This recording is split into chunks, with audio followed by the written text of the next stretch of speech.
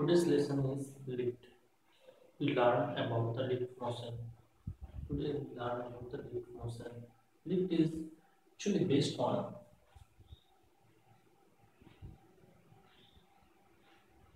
lift. Lift is based on the two principles. First of is it is the based on the second law of motion. Second laws of motion that is Newton's second law of motion and it maintain an accelerated reference frame. That's why it is a non-inertial reference frame concept. Non-inertial reference frame means if a reference frame is moved with an acceleration or in a rotating frame, that reference frame is called the non-inertial reference frame. If we today we study about the lift, that's why because if we learn learn the lift case very easily or very conceptually, then we solve easily the pulley problems. That pulley problems, if we solve better, then our chances in the competitive exams will be more and more because most question question must be selected from the Newton's laws of motion. First step of the Newton's laws of motion problem solving methods is one that is lift motion. If we study, now we study lift. Lift that is case 1. Case 1 is when lift moves with an acceleration a in upward direction. Lift moves with acceleration a in the upward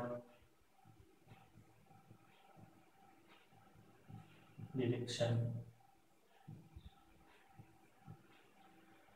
When now you sitting on the lift, now you sitting on the lift, then lift if, if the lift is moved upward direction with an acceleration a, then it is surely you feel your apparent weight will be decreases.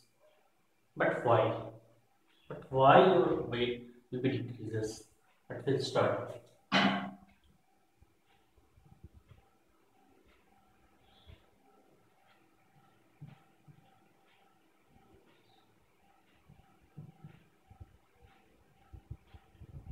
When, when your acceleration is upward direction, then when acceleration is upward direction, this represents normal reaction.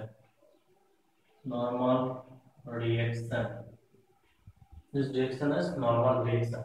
It is uh, also denoted as in and this is the weight of the person. Weight of you when we study about the lift is in upward direction then r always greater than mg. R always greater than mg because if we go upward direction this force must be greater than from this force. That's why if we um, calculate the motion of the calculate the equation of motion then it is much sure that r is capital force r minus mg. This force is the resultant force. Result.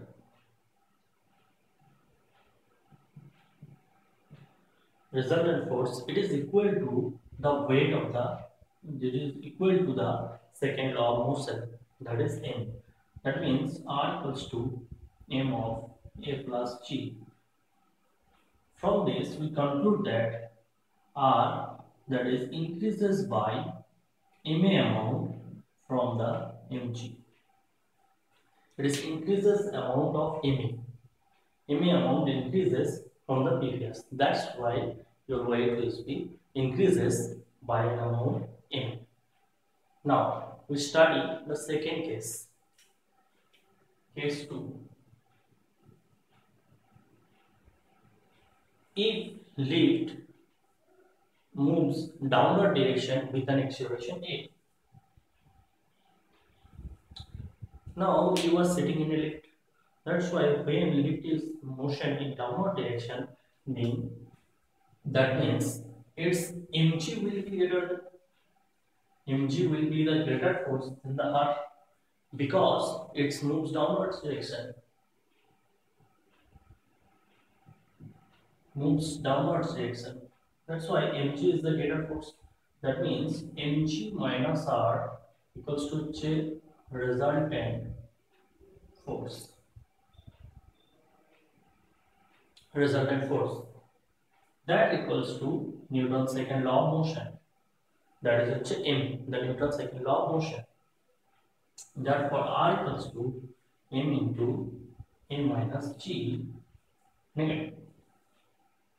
From this, we conclude that if A greater than G, if A greater than G, then R equals to m A minus G. That is, R gives negative value. That means your head that means your head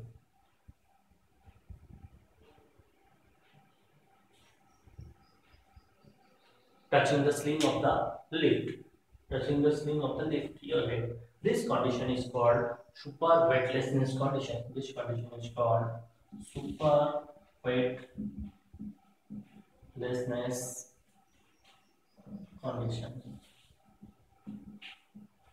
This condition is called super weightlessness condition. Now,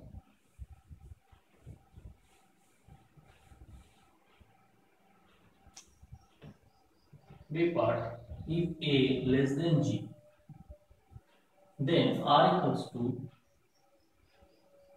mg minus m. That is, R decreases you feel your weight decreases by an amount m. That means your apparent weight, apparent weight will be less the actual weight. In this case, third case, C condition if A equals to G, that is R equals to mg minus mg, that is 0 normal reaction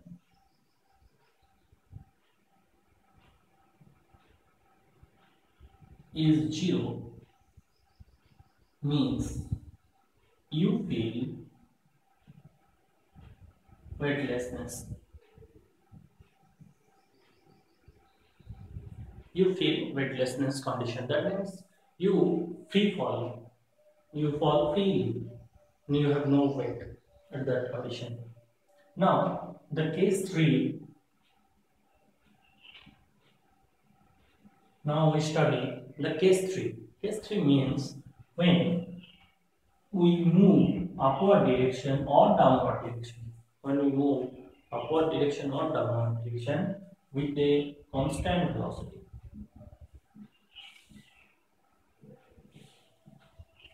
Constant velocity then r minus mg sum 0 since a equals to 0 since a equals to 0 that is r minus mg equals to 0 when upward direction with a constant velocity moves upward direction with a constant velocity r equals to mg mg minus r sum 0 when downward direction with a v a constant velocity in downward direction that's mg minus r equals to 0 that is R sum mg. In both cases, the you feel your weight is similar to the actual weight. This is the lift motion. If you study better lift motion, then you do some problems on this basis. First, one thing understanding in lift, that is basic things is R is the upward force mg is the downward force. When you go upward direction, when you go upward direction, then r minus mg equals to ma when you go upward direction that is upward direction similar case when you go downward direction that is mg minus r equals to go downward direction that is downward force mg is greater it is the basic concept. If you apply in this pulley problem case if you learn pulley problem very easily the next class will be on Rotary problems